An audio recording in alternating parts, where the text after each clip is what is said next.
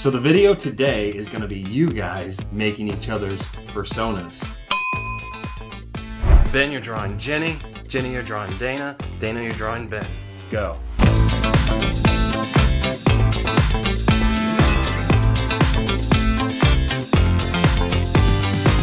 Now get in front of the pancake of you. Three, two, one. Oh my god. oh my god. So Jenny, why did you choose this for Dana? She's magical. It's true. so Dana, why did you choose this for Ben? Llamas are social, very smart, and a little stubborn.